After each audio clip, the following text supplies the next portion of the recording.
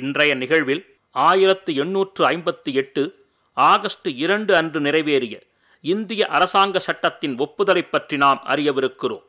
Company ஆட்சிக்கு எதிராக இங்கிலாந்தில் வளர்ந்து வரும் கசப்புணர்வானது ஆயிரத்து எண்ணூற்று ஐம்பத்தி ஏழாம் ஆண்டு முதல் இந்திய சுதந்திரப் போர் நடைபெற்ற போது உச்சத்தை தொட்டது. அது பிரிட்டிஷ் அரசாங்கத்தை நடுநடுங்க வைத்தது.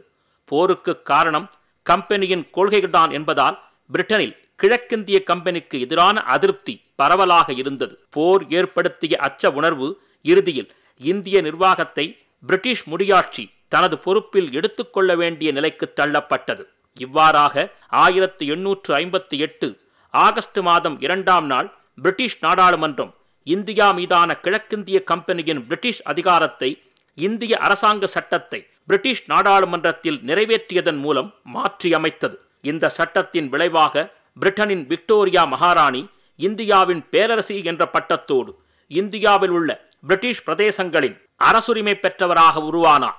ஆயிரத்தி தொள்ளாயிரத்து பத்தொன்பதாம் ஆண்டு மற்றொரு இந்திய அரசாங்க சட்டம் வரும் வரையில் நீண்ட காலம் வரை நிர்வாகத்துக்கான மைல்கல்லாக இந்த சட்டம் விளங்கியது. நம் நிகழ்வில் அடுத்ததாக சுதந்திர போராட்ட வீரர் விங்காளி வெங்கையா அவர்களையும் நாம் நினைவு கூர்வோம். ஆந்திர பிரதேசத்தின் கிருஷ்ணா மாவட்டத்தில் ஆயிரத்து எண்ணூற்று எழுபத்து ஆறாம் ஆண்டு ஆகஸ்ட் இரண்டில் பிறந்தார் இவர். விஜயவாடாவில் மறுபடியும் காந்தி அவர்களை சந்தித்தார். கொடியின் பல்வேறு வடிவங்களைக் கொண்ட அவரது வெளியீட்டை காண்பித்தார். ஒரு தேசிய கொடி உருவாக வேண்டும் என்று அங்கீகரித்த காந்தி மகாத்மா வெங்கையாவிடம் ஆயிரத்தி தொள்ளாயிரத்து இருபத்தி ஒன்றாம் ஆண்டில் நடைபெற்ற தேசிய காங்கிரசின் கூட்டத்தில் ஒரு புதிய கொடியை வடிவமைக்கும்படி கேட்டுக்கொண்டார் வெங்கையா வடிவமைத்த இந்த கொடியானது நமது தேசிய கொடி உருவாவதற்கு ஒரு முன் வடிவமாகவே விளங்கியது. இரண்டாயிரத்து ஒன்பதாம் ஆண்டு அவரை நினைவுபடுத்தும் வகையில் ஒரு அஞ்சல் தலை வெளியிடப்பட்டது. இரண்டாயிரத்தி பதினைந்தாம் ஆண்டு நகர்ப்புற வளர்ச்சி அமைச்சர் வெங்கையா நாயுடு விஜயவாடா வானொலி நிலையத்திற்கு பிங்காளி வெங்கையா என்று பெயர் சூட்டினார். வானொலி நிலைய வளாகத்தில் பிங்காளி வெங்கையாவின் சிலையை திறந்து வைத்தார். இந்த மாபெரும் தேசியவாதிக்கு நாம் வீர வணக்கம் செலுத்துவோம். அடுத்ததாக ஆயிரத்து எண்ணூற்று ஐம்பத்தி ஏழாம் ஆண்டின் முதல் சுதந்திரப் போரில் பங்கெடுத்த சுக்கட் சிங் மெஹல் சிங் ஆகியோரை நினைவு கூறுவோம் இவர்கள் முதல் சுதந்திரப் போரில் பங்கெடுத்து பல சந்தர்ப்பங்களில் பிரிட்டிஷார்களை எதிர்த்து போராடிய மும்பையைச் சேர்ந்தவர்களாவர்.